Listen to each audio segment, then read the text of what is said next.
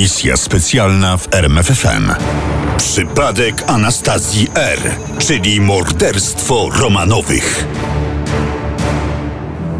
Wieczór 27 lutego 1920 roku był w Berlinie chłodny i nieprzyjemny. Z nad sprawy podniosła się mgła, zatarła kontur bramy brandenburskiej, przewaliła się przez park Tiergarten i opadła nad Landwehrkanal. Jakaś kobieta, której drobną sylwetkę ledwie zarysowało eteryczne światło ulicznych latarni, weszła właśnie na most nad kanałem. Zatrzymała się, rozejrzała wokół, a nie widząc nikogo zaczęła się wspinać na balustradę. Co pani robi? Policjant pojawił się nagle. Wyszedł z tumanu mgły niczym zjawa. Powoli podchodził do kobiety, która już stała na krawędzi mostu. Co pani robi? Powtórzył głośniej. Wtedy go usłyszała. Powoli odwróciła głowę w jego stronę, a potem skoczyła. Policjant długo się nie zastanawiał, zbiegł na stromy brzeg kanału i zjechał do wody. Zdążył. Teraz, gdy przyjrzał jej się z bliska, zauważył, że dziewczyna ma nie więcej niż dwadzieścia kilka lat. Krztusiła się, trzęsła z zimna i z emocji. Kiedy zauważyła policjanta, cicho zapłakała. Przytulił ją i zaczął uspokajać. A potem, kiedy się uspokoiła, zabrał ją do samochodu i odwiózł na Lucowstrasse do szpitala świętej Elżbiety. Tam zajęły się nią siostry miłosierdzia. Jak się pani nazywa? Nic nie powiedziała. Czy pani mnie rozumie? Znów cisza, żadnej odpowiedzi. Kobieta nie chciała podać imienia i nazwiska, nie miała przy sobie dokumentów. Nikt nie wiedział, kim jest. A ponieważ próbowała popełnić samobójstwo, uznano, że jest niestabilna emocjonalnie i odwieziono ją do szpitala psychiatrycznego. W szpitalu psychiatrycznym przebywała dwa lata. I przez te dwa lata nie powiedziała nikomu, kim jest i jak się nazywa. Personel szpitala, chcąc nie chcąc, zaangażował się w rozwikłanie zagadki Fräulein Unbekannt. Panny nieznajomej, bo tak o niej mówiono. Lekarze zauważyli, że Fräulein Unbekannt ma liczne blizny na głowie i ciele. Nie chciała jednak powiedzieć, skąd się wzięły. Ktoś zasugerował, że mogą to być ślady po pociskach. Nieznajoma nie potwierdziła, ale i nie zaprzeczyła. Kiedy mówiła po niemiecku, personel zauważył, że ma jakiś dziwny, jakby rosyjski akcent. Te i wszelkie inne spostrzeżenia nie prowadziły jednak do rozwiązania zagadki tożsamości Fräulein Unbekannt. Wreszcie po dwóch latach sama zdecydowała się zdradzić swoje nazwisko. Jestem Anastazja Nikolajewna Romanow. A może, jak twierdzą inni świadkowie, to nie ona zdradziła swoją tożsamość, lecz ją rozpoznano. Pani to jest bardzo podobna do córki cara, Anastazji. Miała powiedzieć do niej jedna z pielęgniarek. Znów nie zaprzeczyła, ale i nie potwierdziła. Według jeszcze innej wersji to pewna pacjentka, a zatem osoba o zaburzeniach psychicznych, odkryła w nieznajomej córkę cara Mikołaja Romanowa. Lecz nie Anastazję, a Tatianę. Wiadomość wydostała się ze szpitala i dotarła do środowisk rosyjskich emigrantów, którzy w Berlinie mieli liczną reprezentację. Słyszałam, że księżna Tatiana jest w szpitalu psychiatrycznym. Szemrano wśród Rosjan na tyle często i głośno, że niewiarygodna nowinka dotarła do baronowej Sofii Buxheveden. Baronowa, przed laty dama dworu carycy Aleksandry, czyli matki Tatiany, postanowiła osobiście przekonać się, czy plotka zawiera przynajmniej ziarno prawdy. Nie, to nie jest Tatiana. Tatiana była wyższa. Powiedziała, po czym odwróciła się i wyszła. Wydawało się, że temat jest zamknięty. Ale okazało się, że bynajmniej nie. Plotka o cudownym odnalezieniu córki pary carskiej nadal krążyła po Berlinie. Nie mówiono jednak już o Tatianie, lecz o Anastazji. Nieznajoma znów nie zaprzeczała, tym bardziej, że troje świadków nie poddawało jej tożsamości w wątpliwość. Co więcej, pomogli jej wyjść ze szpitala i zakwaterować w domu barona Artura von Kleista. Kleist, mimo niemieckiego nazwiska, był przed rewolucją poddanym carskim. Kierował policją w guberni warszawskiej. W poczuciu lojalności względem zabitego monarchy czuł się zobowiązany do opieki nad carską sierotą. Jak twierdził pewien berliński detektyw, miał w tym swój interes. W kręgach emigracji rosyjskiej mówiono, że Kleist miał ukryte motywy. Przyczepił się do młodej carówny, bo liczył na profity, jeśli zostanie w Rosji przywrócona monarchia. Kleist sprawiał wrażenie człowieka oderwanego od rzeczywistości. Była wiosna 1922 roku. Wojna domowa w Rosji właśnie zakończyła się zwycięstwem bolszewików. W takich okolicznościach powrót jakiegokolwiek Romanowa na tron carski był bardzo, bardzo nierealny. A jednak Kleist twardo stał przy księżnej Anastazji. Tak ją nazywał i przekonywał wszystkich wokół, że ma zaszczyt gościć pod swoim dachem carską córkę. Wątpliwości jednak pozostały. W tym czasie, czyli na początku lat 20., ponad 80 kobiet podawało się za cudem ocaloną Anastazję. Inne uzurpatorki twierdziły znów, że są Olgą, Tatianą bądź Marią. Car Mikołaj i jego żona Aleksandra mieli cztery córki. Wybierano więc wiele upodobań, zwykle kierując się podobieństwem do zdjęć zamieszczonych w przedrewolucyjnych gazetach. Wszystkie te przypadki sprawdzono i zweryfikowano na niekorzyść rzekomych księżniczek. Często identyfikacja była krótka. Wystarczyło jedno spojrzenie, by zdemaskować oszustwo. Tym razem jednak sprawa wydawała się bardziej złożona. Podobieństwa były wyraźne. Zgadzał się kolor oczu, barwa włosów i blizny na ciele. To ślady po ranach. Przecież do nas strzelali. Tłumaczyła Anastazja. Ale nie wszystko się zgadzało. I nie chodzi tu już nawet o pewne szczegóły anatomiczne. Anastazja nie potrafiła mówić po rosyjsku, choć język ten rozumiała. Nie znała również obowiązującego na dworze carskim angielskiego i francuskiego. Musiałam zapomnieć. Medycyna zna przecież przypadki amnezji w wyniku traumatycznych przeżyć. Prawda, panie doktorze? Prawda, prawda, proszę pani. Ale podaje się pani za rosyjską księżniczkę. Zresztą nie pierwszą z ujawnionych w ostatnich latach, więc sama pani rozumie, że rodzina ma prawo mieć wątpliwości. Aby je rozwiać, musimy zadawać pytania, czasem nawet bardzo trudne pytania. Te trudne pytania ujawniły olbrzymią wiedzę rzekomej Anastazji na temat wielu szczegółów z życia carskiej rodziny, których postronna osoba nie powinna znać.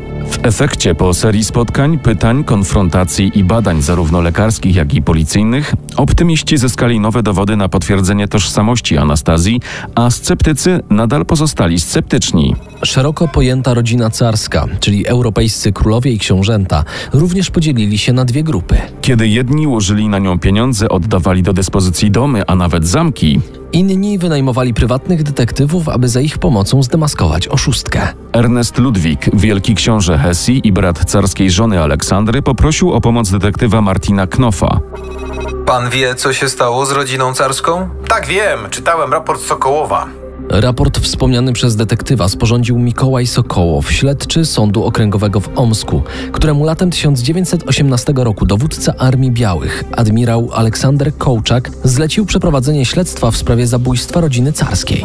Na podstawie wywiadów i oględzin miejsca zbrodni Sokołow doszedł do wniosku, że car i jego rodzina zostali zamordowani w piwnicy domu inżyniera Mikołaja Ipatiewa w Jekaterynburgu. Raport Sokołowa nie odpowiedział jednak na wszystkie pytania. Przede wszystkim nie udało się Sokołowowi znaleźć miejsca pochówku carskiej rodziny. Pomylił się również co do szczegółów mordu. Błędnie wywnioskował, że więźniowie zginęli natychmiast w wyniku strzelaniny, z wyjątkiem Aleksieja i Anastazji, których zastrzelono i zabito bagnetami, a ciała zostały spalone. Te szczegóły nie miały jednak znaczenia dla Ernesta Ludwika i jego detektywa. Dla nich punktem wyjścia w śledztwie był jasny przekaz raportu. Anastazja nie żyje. Proszę udowodnić, że ta kobieta jest oszustką. Poprosił książę. Detektyw Martin Knopf poszperał, popytał, użył przy tym swoich znajomości i na efekty nie trzeba było długo czekać. Ta pani tak naprawdę nazywa się Franciszka Szanckowska i jest Polką. W czasie wojny pracowała w fabryce amunicji. Tam miała wypadek, granat wybuchł jej w dłoni. Stąd rany, którymi teraz się chwali, mówiąc, że powstały podczas egzekucji. Domyślił się książę Ernest. Sprytne. Naprawdę sprytne. Ten wypadek Kontynuował detektyw. Wygląda raczej na próbę samobójczą. Książę spojrzał na detektywa z wyraźnym zainteresowaniem. Na wojnie zginął jej narzeczony. Stała się apatyczna i przygnębiona. Wpadła w depresję. Nie ma wątpliwości, że chciała się zabić. Tymczasem przeżyła. Dopowiedział książę. Tak, natomiast zginął jej brygadzista i to ją dobiło. Szanckowską uznano za niepoczytalną, zwolniono z pracy. A potem leczono w dwóch zakładach psychiatrycznych. Jak widać, bezskutecznie. No dobrze, panie Knopf, ale czemu ją wypuszczono? Lekarze uznali, że dalsze leczenie jest zbędne. A kiedy wyjechała do Berlina? Tego nie udało mi się precyzyjnie ustalić. Wiem natomiast, że w lutym 1920 roku zgłoszono jej zaginięcie. Od tego czasu rodzina nie miała o niej żadnej wiadomości. No właśnie, rodzina. Znalazł pan kogoś, rodziców, siostrę, brata, czy kogo ona tam ma? Brata. Znałem brata, nazywa się Felix Szanckowski. No to może warto by ich sobie przedstawić. Co pan o tym myśli? Anastazję, czy jak wolał mówić książę Ernest Ludwik pannę Szanckowską, pokazano Feliksowi Szanckowskiemu. Szanckowski długo przyglądał się kobiecie, po czym stwierdził.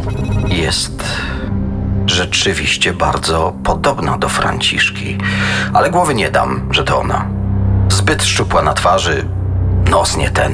No więc jak? To pana siostra czy nie? Musi pan się dobrze przyjrzeć. Przyjrzał się, a w oświadczeniu napisał: Przedstawionej mi kobiety nie rozpoznaję jako mojej siostry Franciszki. Detektyw Knopf zabrnął w ślepy zaułek. Oświadczenie Feliksa Szanckowskiego nie pozwoliło zamknąć definitywnie śledztwa, tak jak sobie tego życzył książę Ernest Ludwik. A książę nadal był przekonany, że ma rację. Ta pani Mawiał? nie jest moją siostrzenicą.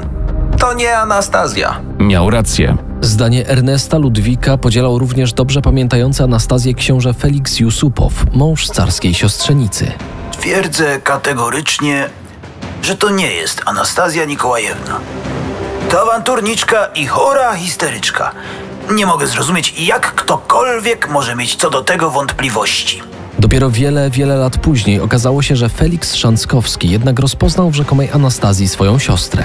Dlaczego ukrywał prawdę? Od razu ją poznałem, Opowiadał historię z młodości. ale nie chciałem zamykać jej drogi do nowego, lepszego życia. Franciszka Szanckowska, wel Anastazja Romanów, aż do śmierci używała nazwiska Anna Anderson.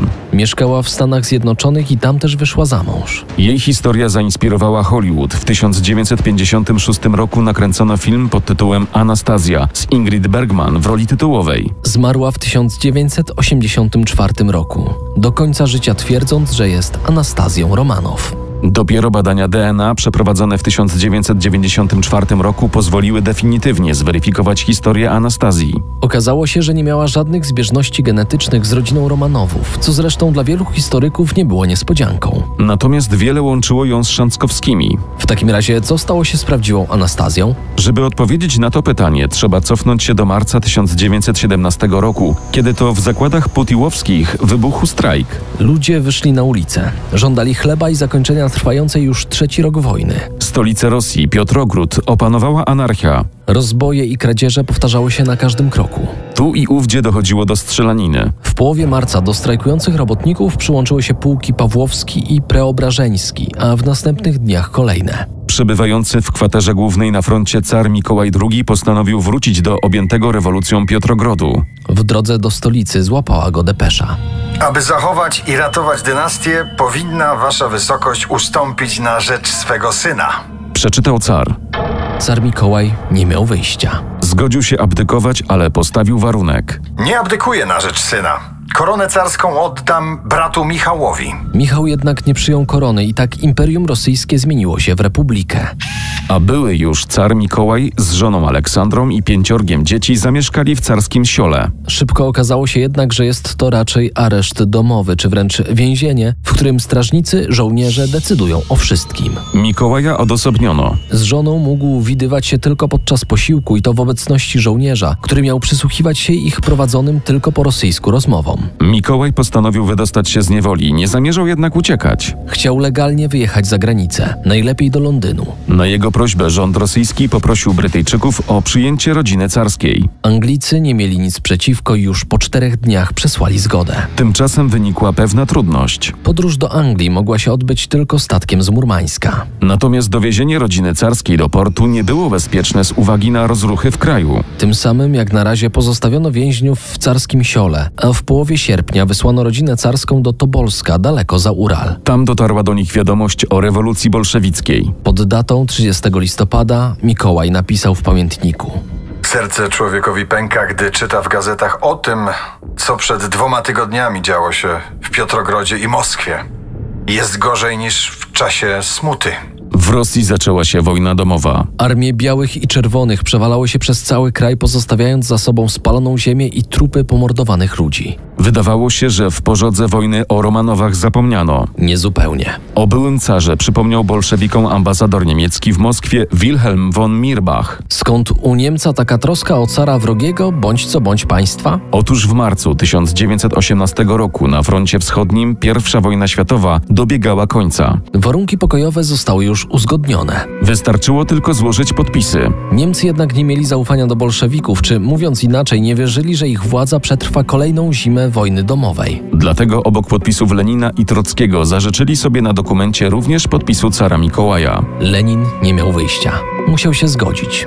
Do Tobolska wysłano depesze z rozkazem natychmiastowego sprowadzenia Mikołaja Romanowa do Moskwy. Nie podoba mi się ten warunek Mirbacha. Mówił Lenin do Trockiego. Niemcy szykują nam przykrą niespodziankę. Obawy Lenina były bezpodstawne, ale on o tym nie wiedział. Zląkł się krążącej po Rosji plotki, jakoby Niemcy zamierzali wywieźć rodzinę carską z Rosji. A na to Lenin nie chciał pozwolić. Musimy pilnować cara. Mówił do Trockiego. To zabierz go z Tobolska. Tam rewolucja ma znikome poparcie. W każdej chwili miasto mogą przejąć biali. Tylko gdzie? Przecież nie pozwolimy mu wrócić do Moskwy. Wyślemy go do Jekaterynburga. To nasze miasto, rzekłbym, wzór rewolucji. Kiedy więc car zbierał się do wyjazdu z Tobolska, Lenin kazał wysłać drugą tajną depeszę, tym razem do Jekaterynburga na Uralu. Zatrzymać cara w Jekaterynburgu. Zgodnie z życzeniem wodza rewolucji, cara wraz z rodziną zatrzymano w Jekaterynburgu. Umieszczono ich w domu inżyniera Ipatiewa i tam przebywali przez cztery miesiące. Tymczasem wojna domowa nie przebiegała po myśli bolszewików. Armie Białych prowadziły ofensywę. Teren kontrolowany przez bolszewików malał. W połowie lipca do Jekaterynburga zbliżała się armia czechosłowacka. Za nimi szedł groźny admirał Kołczak. Miasto mogło zostać zdobyte w ciągu najbliższych dni. Co zrobić z carem? Pytali miejscowi czekiści. A ponieważ nie potrafili odpowiedzieć na to pytanie, postanowili zapytać o zdanie samego towarzysza Lenina. Odpowiedź nadeszła szybko. W nocy z 16 na 17 lipca 1918 roku zbudzono Romanowów z powodu rzekomych zamieszek w mieście. Wszystkim kazano zejść do piwnicy i czekać. Mikołaj, Aleksandra i pięcioro dzieci, a także doktor Botkin, służący, kucharz i pokojówka spokojnie zeszli do piwnicy i czekali, co będzie dalej. Ale dalej nic się nie działo. Minuty się dłużyły, a razem z nimi rosły obawy i niepewność. Wreszcie usłyszeli tupot na schodach i do pomieszczenia wpadł szef miejscowego czeka, Jurowski, w asyście dziewięciu żołnierzy. Obywatelu Romanow, decyzją sądu rewolucyjnego zostaliście skazani na śmierć. Co? Co on mówi? Zwrócił się Mikołaj do żony, ale odpowiedzi już nie usłyszał. Jurowski bez uprzedzenia strzelił do cara trzy razy. A potem rozległa się strzelanina. Zginęli wszyscy. Tych, którzy zdradzali oznaki życia, dobito bagnetami. Zwłoki cara i jego rodziny wrzucono do starej, nieczynnej kopalni rudy żelaza. Zalano kwasem siarkowym i zasypano, tak aby po zbrodni nie pozostał żaden ślad. Ale ślad pozostał. Pomimo wielu prób sfałszowania czy wymazania z pamięci ludzkiej tych tragicznych wydarzeń, śmierć Mikołaja pamiętano przez cały okres Związku Radzieckiego. W 1979 roku geolog dr Aleksander Awdonin odnalazł masowy grób, a w nim szczątki dziewięciu ciał. Po badaniach okazało się, że są to szczątki cara Mikołaja, jego żony Aleksandry, ich trójki córek i czterech służących. Ponieważ władze radzieckie nie były zainteresowane ekshumacją ciał, a przeciwnie, zrobiłyby wszystko, aby szczątki cara zniknęły bezpowrotnie, Awdonin i jego przyjaciele nikomu nie powiedzieli o odkryciu. Dopiero kiedy upadł Związek Radziecki, już w czasach Nowej Rosji, odkrycie stało się głośne na cały świat. W rozkopanym na nowo grobie brakowało jednak szczątków dwójki dzieci. Jak się okazało Aleksego, carskiego syna i jak twierdzili niektórzy Anastazji. Znów w mediach zrobiło się głośno o Anastazji wel Annie Anderson. W księgarniach pojawiły się książki na temat jej ocalenia, które zresztą zyskały duże grono czytelników i entuzjastów. Dopiero w lipcu 2007 roku, 89 lat po zabójstwie cara i jego rodziny, odnaleziono mały dołek, a w nim przysypane ziemią szczątki dwójki dzieci. Co do chłopca, Aleksego nie było wątpliwości. Drugie szczątki należały do dziewczynki. Nie wiadomo jednak, czy była to Anastazja, czy może Maria. Przypuszczamy, że są to szczątki księżniczki Marii. Mówił na konferencji prasowej szef ekspedycji archeologicznej Sergiej Pogorłow. Przypuszczenia potwierdziły badania antropologów i genetyków. Nie było już wątpliwości. Cała rodzina carska zginęła nocą z 16 na 17 lipca 1918 roku. Jak się okazało, zwłoki Anastazji Romanow odnaleziono już w 1991 roku, w pierwszym grobie. Leżała obok rodziców i sióstr Olgi i Tatiany. Misja specjalna w RMFFM. Na tropie największych tajemnic historii.